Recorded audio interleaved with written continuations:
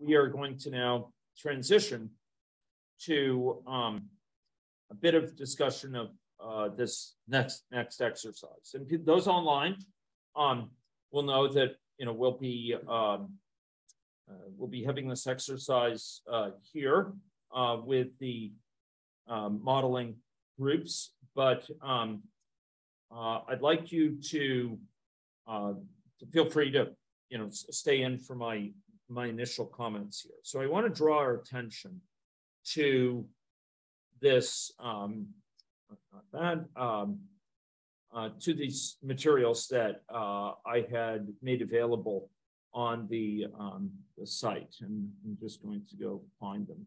Somehow they, the, uh, the right window, here it is. Okay, great. So it's model conceptualization. Oh, sorry, I should turn on the screen share for our partners here. Okay. Um, so within this material, um, I had uh, placed uh, a couple of things that I'd like you to comment on. The first is uh, I want I want you to see if you can try um, try using this division to think through some of the factors that you would like to have to start with with your model. This is I'm going to ask you to do it with kind of two two ideas in mind. One, two time points in mind. One is when you're starting out, what's the division between endogenous, exogenous, and ignored um, for your model um, for a starting place? What, you know, with a minimal thing you want in there, what are you, what do you need to start with for endogenous, exogenous, ignored? And then, and then for the model you'd ultimately like to get to, um, you know, you, you really think could be good. If you want to try that again, you're welcome to. But you know, what things really need to be endogenous, exogenous. I'm distinguishing these two things because we have to get started. You know, we start small. We um, take baby steps. So at first, there's probably going to be few things endogenous, few things exogenous, kind of a minimal set there, and maybe lots of things ignored. And then where you'd eventually like to go, you might have a, have a different vision you got more things, endogenous, exogenous, somewhat fewer ignored. Um, uh, I'd like you to think this through some. So that's uh, challenge one.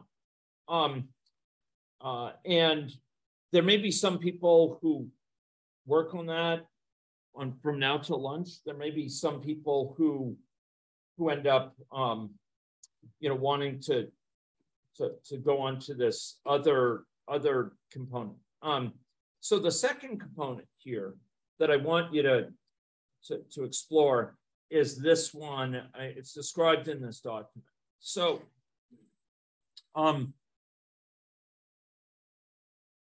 endogenous exogenous ignored tells us about the scope of our model. But kind of tells us what things we want to sort of characterize their interactions. Um, but it doesn't point us to how we're going to capture it uh, in a model. Um, and uh, one intermediate point would be, and I apologize for sort of going back and forth, um, but one, one intermediate part would be to say, well, for the things that are endogenous, exogenous, how do they relate to each other in terms of model maps? These are causal loop diagrams. I described these a little bit yesterday. Um, um, some of you may be familiar with them. Um, I just want to remind you that we have variables. These variables have polarity associated with them, word, uh, with them or valence. So, so you know, you can have um, more health or lower health, uh, more employability or lower employability. And if we have a link between two variables, A and B, say from health to employability, what that indicates is that um, we posit, and this is us, you know, um, uh, we, we're, we're positing that as health increases, um, employability will will change uh, relative to value it otherwise would have had, all other things being equal. And the the um, polarity of that link, the fact this is a plus link means as health goes up, employability will tend to go up compared to the value it otherwise would have had, all other things being equal. So, so you know, as health goes up, employability goes up. We could say informally, right?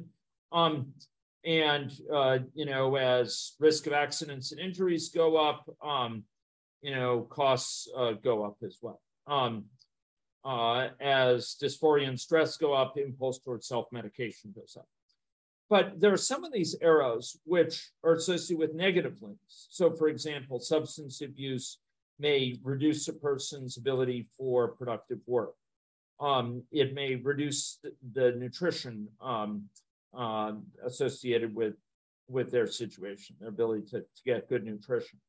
Um, employability goes up, poverty will tend to go down. So when we have these negative links, um, uh, like those from from this to this, uh, from risk of injury to health, that, that minus is really for this link, or from substance use to nutrition, it means as the first variable goes up, the second variable goes down compared to the value it otherwise would have had, all other things being equal. Now, I want to make, I want to disabuse you of a common misunderstanding that comes up with students. Comes up with these polarities, particularly the negative polarity, but to some degree the positive. What these are not saying, I'm saying a lot, but one of the things they're not saying, one of the most critical things that's important to know they're not saying. They're not saying that as, you know, um, substance abuse goes up, risk of injury and accidents goes up over time. No, it's it goes up compared to the value it otherwise would have had if substance abuse hadn't gone up. Would have had some value and otherwise it's going to hold a higher value compared to the value it otherwise would have had, all other things being equal. Um, so it'll tend to make it higher, or in this case, substance abuse rising will tend to make capacity for productive work lower. It doesn't mean it's lowering it over time necessarily in some you know downward slope or something. Um, but it just means it's lowering it from what it would otherwise have been.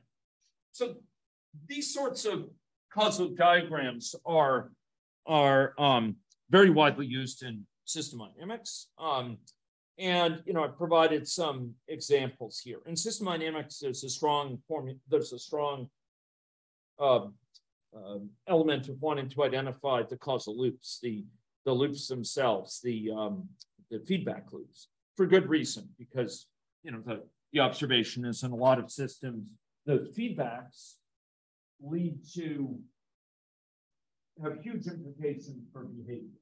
They lead to stabilizing behavior or behavior that quickly gets sort of spirals out of control in a in a in a way that uh, gets um, um, unstable. Um, but our focus here is really on just sort of diagramming out four factors that are endogenous or exogenous. This may be something you want to kind of do, sort of sketch out what influences what. So when you get started with the TA, you'll be able to show them this diagram and say, look, you know, this is like in my area, this is kind of what I have in mind is kind of um, what drives what. And that's useful. So kind of how these variables relate to each other because system science is all about connection. It's all about interconnection between things. It's all not just the pieces, it's how they're connected and this illustrates something about how they're connected. Um, uh, and I'll try to dredge up some of the uh, agent-based adaptations of these to show it you know, sometime in the next day or so. So this is a second form that you might find useful. I'm, I'm going to ask you to try something that you find resonates with you.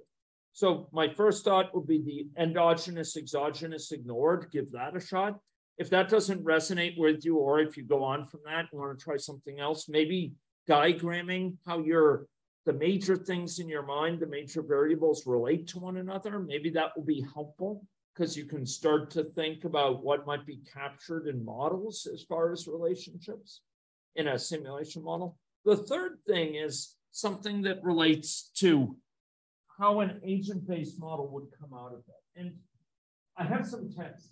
Um, um, And the text will kind of walk you through this in, in with greater loquacity than I can offer right now.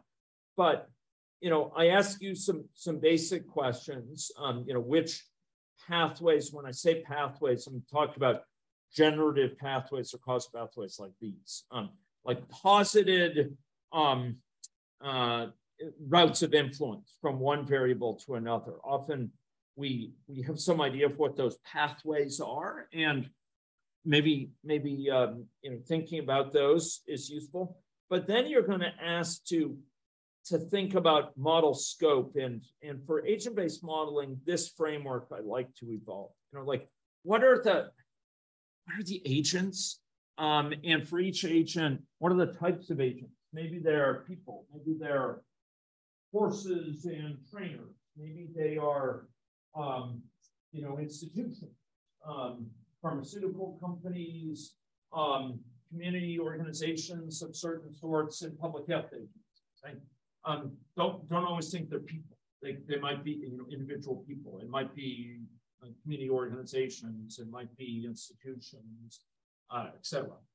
Um, but you know, think about what those agents are, what their state is, uh, what sort of actions and rules they have, what what what are the things that change the state, and what are the rules under which those occur. You might want to go light on the rules initially, um, but but have a sense of the state and things that change it. Maybe a, a state chart is useful for you. Start thinking through a state chart. You could even use AnyLogic to start kind of mapping it out. Um, but then think, you know, what are the kind of assumptions associated with some of these agents or attributes you want to, you really need to capture? I would say that endogenous, exogenous, um, ignored division might clue you into the what parameters you want to have, what what features of each agent you want to maintain. Um, and then, you know, over what time frame do you want to analyze this. This is all questions like when someone brings a modeling problem to me, I often have exactly these discussed. So, you know, what time frame are you concerned about? Is it a three-year time frame, a 30-year time frame, a 300-year time frame? What are the sort of what are the durations of time? What outcomes do you want to have from the model? may wonder, like, why am I talking about that? It's because there may be certain outcomes that in order to calculate them, you need certain factors endogenous.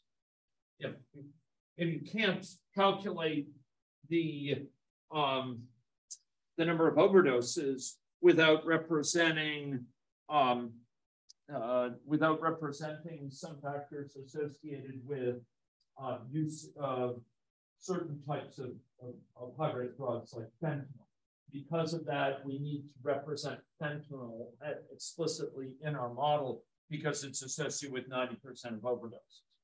So by thinking about the outcomes, often that clues you in to aspects of what needs to be endogenous. And so, you know, you're going to be, it's also going to be very relevant for building up the model, for trying to get something into the model. Um, uh, interventions, if, if you're focused on interventions, if part of your goal is to, to ask what if questions, um, you're going to want to ask what are those what if questions. Sometimes they're like policies or interventions, things we're intervening with the situation. Sometimes they are just what if situations about the external world. You know, what if the economy has a downturn? What if there's another wave of the pandemic? What if there's a um, you know, a really um, high virulence um, variant that arrives? What if um, uh, the, you know, if there's a very high rates of environmental change um, that expose great heat risk to, to individuals, et cetera. Um, and then think about the network, you know, or, is this something where we need to represent geographic space or could we deal with a stylized non-geographic space? You know, continuous spatially, spatially, but it's non-geographic. It doesn't actually represent an actual geography. It's more, you know, we have an urban region and a rural region, but it's not, you know, Montreal and, and the surrounds. It's not, you know, uh, Vancouver and Burnaby and Surrey, et cetera. It's, it's kind of um, more abstract. Or is it enough to have sort of gridded space where you can have it really abstract and things are interacting with themselves? Um, so to answer these, sometimes it can be useful to like create a little diagram, even in AnyLogic with state charts that can illustrate the states, actions, rules, um, to the degree you get into them, that can be useful. Sometimes you can put in parameters, um, causal links. You can draw in AnyLogic with transitions, um, um, or actually not with transitions, with uh, elements of the of the palette for agents uh, for system dynamics. I can, I can show that. Um, uh, events, maybe. We haven't talked about those, but those would be things which occur at certain times and uh, potentially get everybody involved, I'm not sure you will. So, so for thinking about agent-based modeling and unpacking it into these things, think about how these apply to your situation may be useful. So, you know, for this morning, don't I wouldn't suggest trying to do this all. Try to find one of these that that resonates with, that you feel some basis for, some footing and I'd like you to give that a try. Okay. Um, and uh, I'm going to try to muster the TAs um, to to sort of try to start engaging with each team. Okay. Um, so uh, for those online, um, we're going to sort of go and um, scatter uh, amongst a couple of rooms here. So um, I'm not sure you're going to get much um, utility out of uh, uh, out of you know uh, staying staying online here. We will reconvene after lunch, and what I'm going to be shooting for is roughly one. It'll be sometime between one and one, probably around 115 or so. Okay, um, so that's about two hours from now. We're going to go roughly an hour for this exercise, and then get some lunch and then uh, be back around 115 to 130. Okay.